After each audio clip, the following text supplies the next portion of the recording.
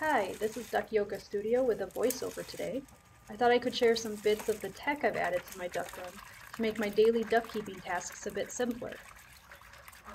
I want to preface this with the fact that my duck run has power and a strong Wi-Fi signal. I know this is not the case for most backyard duck and chicken runs. Starting off with a DIY auto feeder. I feed the ducks Mazuri waterfowl kibble which is meant to be served on water. I found it a bit difficult to keep up. I tried feeding them all of their food at once and splitting it into three times a day. I had issues with squirrels stealing food and food waste since the ducks dislike mushy food. After shopping around online, I found that a regular pet auto feeder wasn't meant to be kept outdoors, and it usually had a built-in bowl, which wouldn't work for this type of kibble. I found some outdoor farm feeders meant for horses, but those were too large and very expensive. This is simply a cereal dispenser, a plastic funnel, and the container from a large-sized pet gravity feeder. I removed the original plastic shaft and handle from the cereal dispenser. I attached a small motor to a new metal D-shaft. The motor is turned on by a Shelly relay switch. The Shelly relay has a companion app that allows you to set up the timing and schedule. I have this set up to feed them every two hours and I rarely have any wasted food at the end of the day. It has run reliably without fail for over a year now.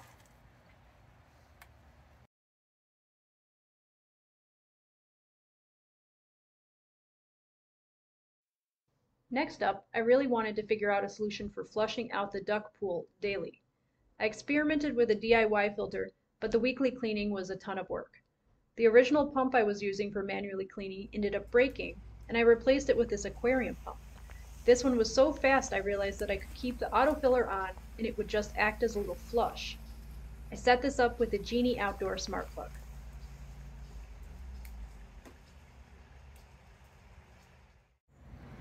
These smart plugs also come with a free companion app where I set up a schedule to run the pump for 5 minutes. I use these smart plugs for lighting inside and outside of the duck run as well. Having the schedule in an app is super helpful when the seasons change and daylight hours change. I try to match the lights to the hours of daylight to not disturb the duck's natural laying cycle.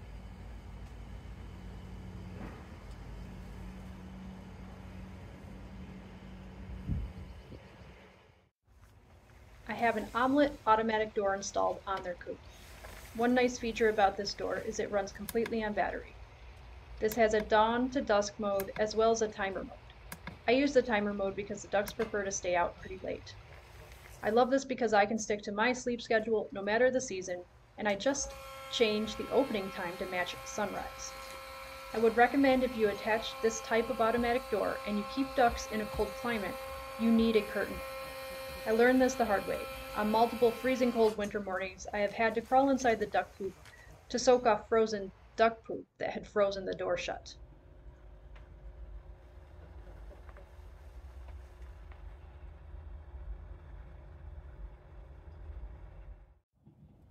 Finally, one of my favorite simple features I added was this little light switch that I attached above the human door in the coop. It turns on when I open the door and has made cleaning so much easier on dark days. Keeping backyard ducks is hard and messy. Hopefully these tech finds are useful to someone or inspire your own automation projects. I included an Amazon list in the description with some of the parts I used to build these projects.